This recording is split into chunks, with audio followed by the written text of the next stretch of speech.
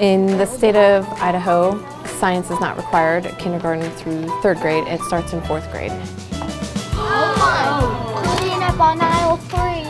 So for us as a parent organization, we feel that it's really important for these students to have science enrichment. So putting on Science Fair Expo and the science fair with all the projects, it's important to us for our military kids to have that exposure to science.